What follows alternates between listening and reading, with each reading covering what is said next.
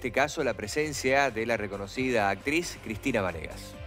Es un texto extraordinario que se va resignificando en cada momento histórico, en, los 90 con el menemato este, y ahora con el macrismo, digamos que mm, son momentos en donde la patria está en peligro y este, creo que la palabra de Eva es una palabra extraordinaria que se resignifica en cada momento y que es, este, yo siempre me imaginaba que era una especie de fantasma furioso que volvía a, mirar la patria y que, este, así que bueno, lo hago con todo mi corazón, la verdad, este, y es un placer hacerlo. ¿Qué diría en este momento si estuviese, como usted dice, el fantasma de Eva en este momento histórico? Y bueno, Eva era una persona que no tenía medias tintas, así que seguramente más que decir creo que haría. haría algunas cosas este, que, tal vez ahora no nos, no nos animaríamos a hacer.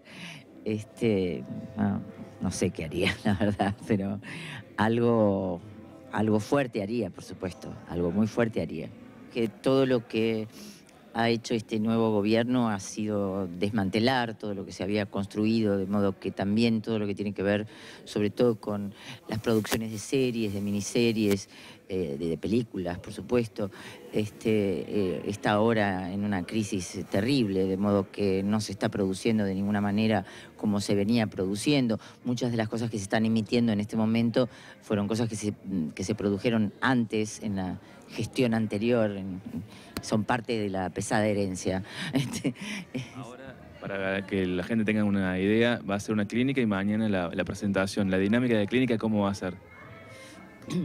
Bueno, voy a hablar de actuación, voy a hablar de la actuación, de la construcción de la actuación, de las poéticas de la actuación, del, eh, de la actuación en la, de la actuación criolla, de la, de la actuación en la Argentina.